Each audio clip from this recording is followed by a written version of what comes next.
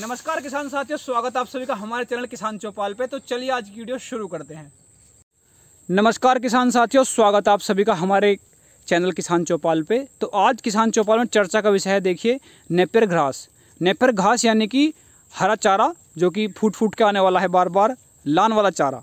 जिन लोगों को नहीं पता, बाकी वैसे सब किसान भाइयों को पता ही होगा नेपर घास के बारे में। तो देखिए, ये हमारे पास है ताइवान जॉइंट नेपर ग्रास सबसे पहले मैं आपको इसकी विशेषता के बारे में बताता हूँ। देखिए, ये जो है, इसके देखिए, पुरानी नस्ल से पत्तों की चौड़ाई देखिए आप। फिर कल्लों का फुटाव देखिए आप। ये देखिए, और एक मेड़े में देख कितने सारे कल्ले हैं। और किसान साथियों, अभी तक इसकी कोई कटाई नहीं करी गई है। हमने अभी ये जून के लास्ट में लगाया था, और देखिए, पहले लान के लिए तैयार हो चुका है। जैसे ही इसका पहला लान लिया जाएगा तो तब आप इसकी और भी रंगत देख सकते हैं। रंगत में दुगने का फ़र्क आ जाएगा। इसकी लंबाई बहुत चली जाएगी और इसकी मोटाई भी काफ़ी हो जाएगी। तो किसान साथियों, देखिए, सभी किसान भाइयों को पूरे वर्ष में कभी ना कभी हरे चारे की समस्या दो चार होना पड़ता है। तो उस समस्या का रामबाण इलाज है नेपर घास। इसमें जो है, आप एक बार लगाइए और कई साल तक आराम से बिल्कुल फ्री हो जाइए। काटते रहे या फूटती रहेगी, आप काटते रहे या फूटती रहेगी। तो ये उसकी नेवाल नस्ल है, ताइवान जॉइंट जो कि हाई ईल्ड है, हाई प्रोटीन है और पूरी तरह से पशुओं के लिए भी उपयुक्त है।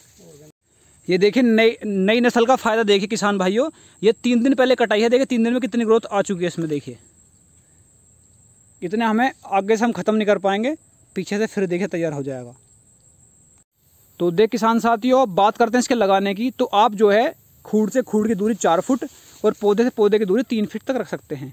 क्योंकि जब ये लान कटने के बाद जब और फूल के आएगा नया तो पहली बार में इसमें लगभग चालीस तक कल्ले निकल के आ जाते हैं।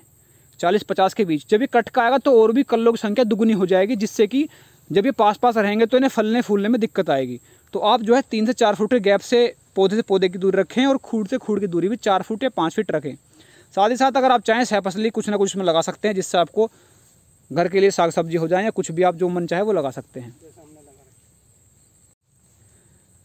हमने देखिए यहाँ पर भिंडी लगा रखी है अपने घर के लिए और अभी हम भिंडी को ही तोड़ने आए हैं यहाँ, क्योंकि शाम को भिंडी बनानी है।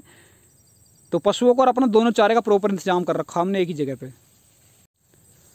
तो जिन भी किसान भाइयों को अगर इसका बीज भी चाहिए तो आप हमें कमेंट करके बता सकते हैं। हम आपको जो भी हमारे रेंज में होगा, उसे ये बीज प्रोवाइड करा देंगे।